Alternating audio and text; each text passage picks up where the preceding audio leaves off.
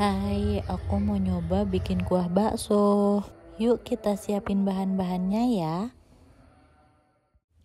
Ini dia bahannya, ada 3 siung bawang merah, 6 siung bawang putih, dan 5 biji kemiri yang udah kita sangrai. Semua bahan ini kita ulek, kita haluskan.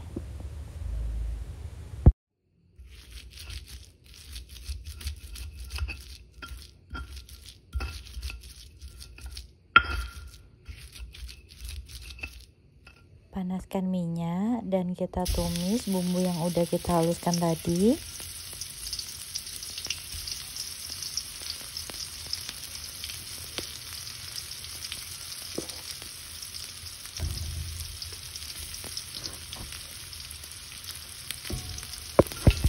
Kita tumis bumbunya sampai harum ya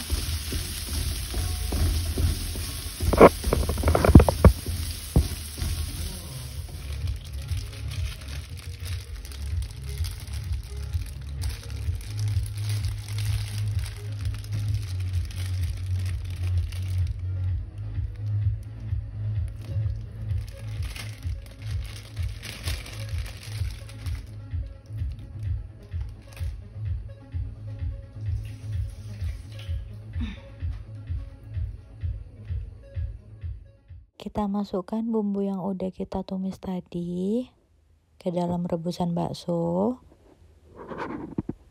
Lalu kita beri kaldu bubu atau roiko.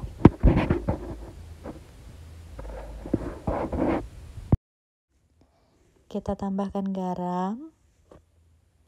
Di sini aku pakai garamnya sekitar 4 sendok makan ya lalu kita aduk rata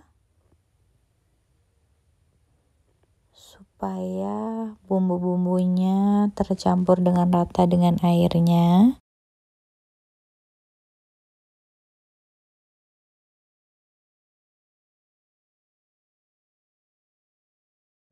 Tambahkan kaldu jamur. Di sini aku pakai 3 sendok teh di sini bisa sambil kita icip-icip ya gimana rasanya.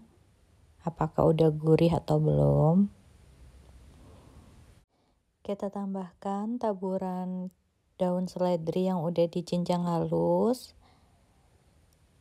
Sebenarnya lebih enak juga kalau kita kasih taburan bawang daun atau bawang prei karena dia akan lebih gurih rasanya.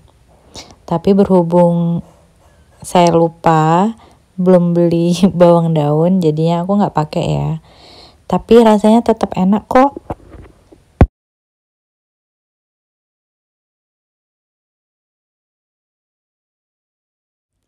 Jadi deh, bakso dan kuah bakso sudah siap dihidangkan.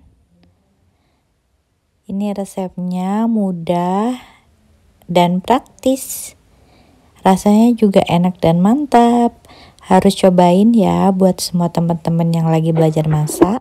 Jangan lupa like, comment, dan subscribe.